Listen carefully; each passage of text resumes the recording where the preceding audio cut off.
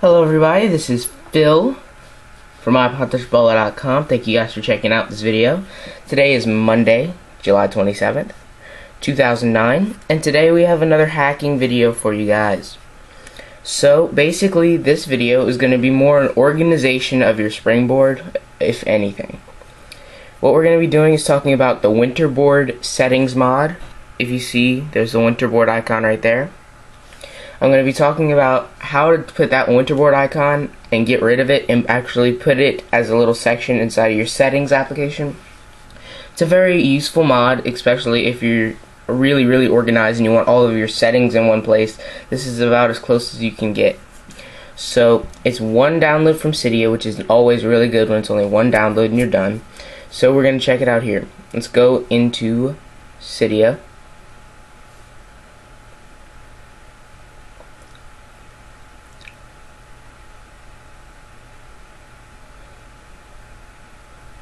and we'll wait for that to load up.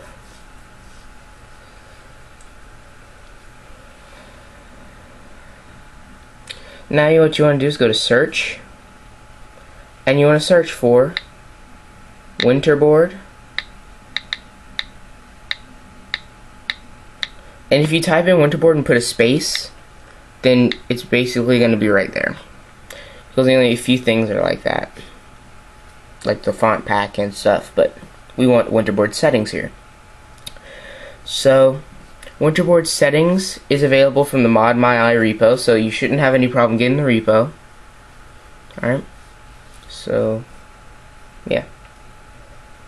If you look at the description here, it says Winterboard settings moves the control of Winterboard from the Winterboard application on Springboard to the settings application.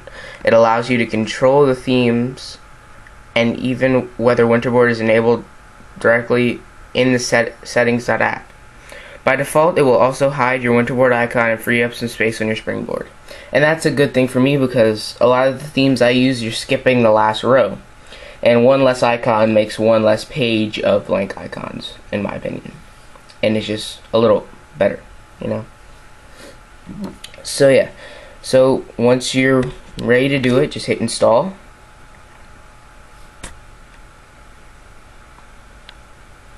And confirm. And then just let it install. Shouldn't take too long. I am running on Wi-Fi here. Don't know if you can tell. Yeah there we go. I'm running on Wi-Fi. Didn't take long at all.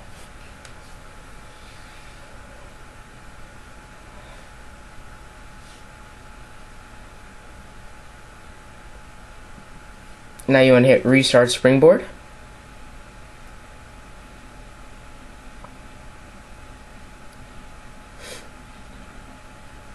and it will respring your device.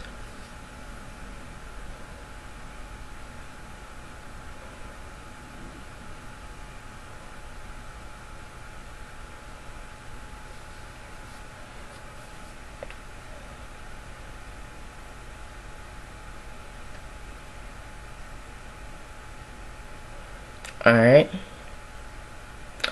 And then you will slide to unlock and you'll notice your Winterboard icon is now gone.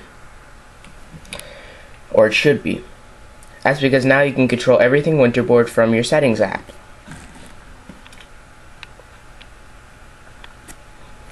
So go into your settings application, and scroll down, and you should see Winterboard.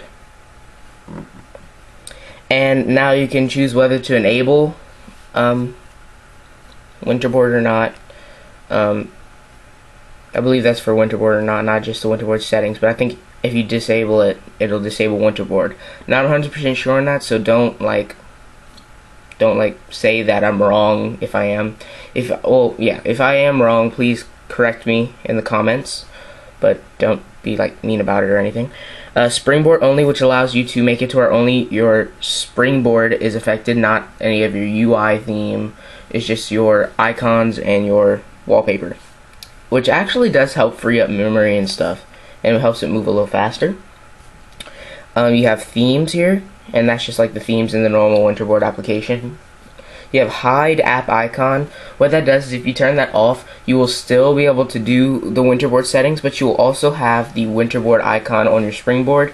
Um, I believe that if you do have the settings hack, I don't think you need the winterboard icon on your springboard. But if you still want it, you can keep it. And then logs, that's just if you want to keep logs of everything, which I really don't see a point to. Unless you're like a big person or whatever. But okay. So the themes, everything works normally. As you see. Um, I'll go ahead and take my theme off, the metal theme, that I am still working on. I will probably have it done anytime this week with springboard wise, and then I'm going to have um, some UI stuff later on, just for a little heads up.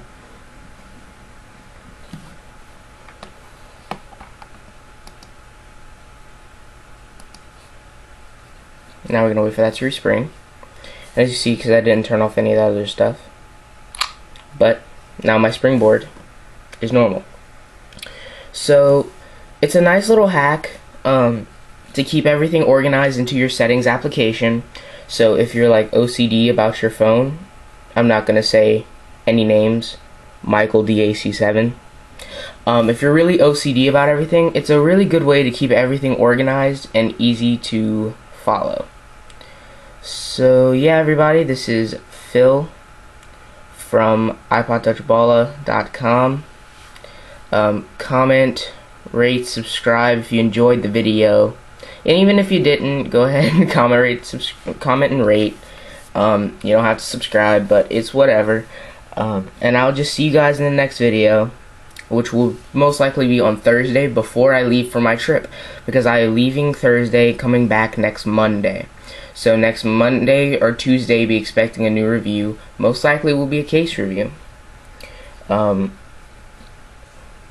either case or app, don't know yet. Might be an app review, but I doubt it. It'll probably be a case review. So guys, Phil here, and I will see you guys later.